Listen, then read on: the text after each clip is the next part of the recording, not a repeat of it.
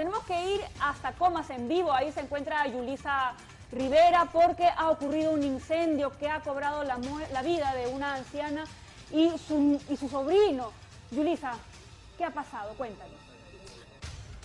Así es, compañeras, buenos días. Esta madrugada ha ocurrido una desgracia, pues dos personas fallecieron en esta vivienda que estamos viendo imágenes luego de que este se incendiara. Estoy casi en la cima de un cerro que es en la cuadra 3 de la prolongación 20 y estamos casi en la cima de este cerro. ¿Por qué les digo esto?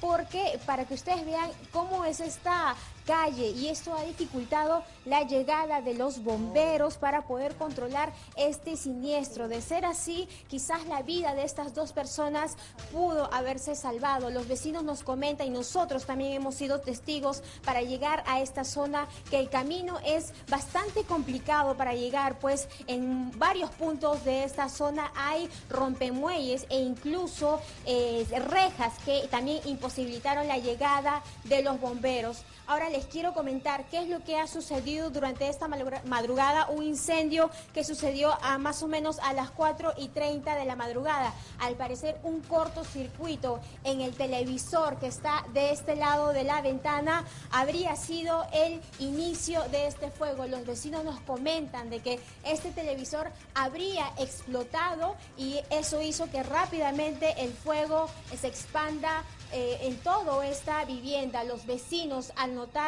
este siniestro, por supuesto salieron con sus baldes de agua para poder controlar el fuego. Ellos nos comentan de que en esta vivienda vivían dos personas, la señora Rosa Campos Luján de 83 años y Luis Ramírez Campos de 50.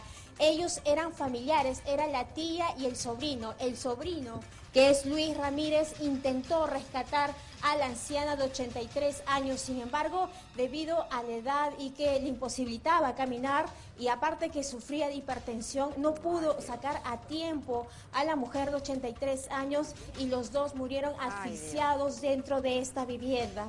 Ya cuando los bomberos llegaron a esta zona, los vecinos habían controlado el siniestro por sus propios medios. Simplemente los bomberos llegaron para certificar la muerte de dos personas. Ahora ustedes están viendo a los familiares de la víctima y la policía en este lugar esperando a la fiscal para realizar el levantamiento de los cuerpos, compañeras.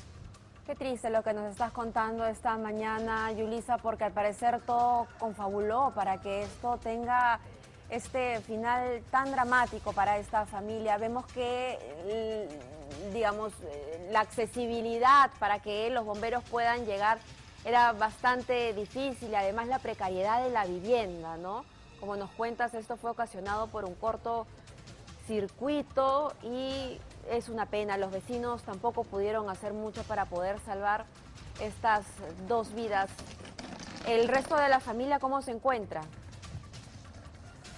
Muy conmovida, Mabel. Ha llegado de a poco la familia a esta zona y bueno, están dentro de esta vivienda junto a la policía realizando el rescate del cuerpo el, rescate del cuerpo. Ustedes ya están viendo ahora en imágenes a dos de los familiares que ya hace unos minutos acaban de recibir la noticia. Incluso están llegando a este lugar amigos de la víctima, amigos del colegio que también se están solidarizando con la familia luego de conocer esta noticia. Mario, nuevamente por favor hay que mostrar la vía para que eh, los televidentes tengan idea de cómo ha sido lo difícil llegar para los bomberos a esta zona. Incluso podemos ver del otro cerro que está al frente de las viviendas y el acceso ha sido bastante difícil. Lamentablemente los bomberos no llegaron al tiempo, pero no porque por la demora de ellos, porque ellos lo querían así, sino porque la zona era un poco difícil el acceso. Encima se encontraron en su camino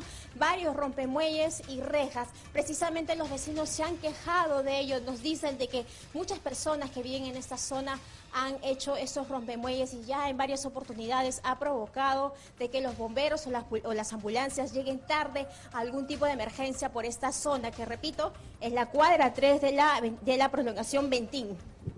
Yo sé que en, esta zona y como podemos observar viven personas que son muy, muy humildes con sus casitas prefabricadas de madera.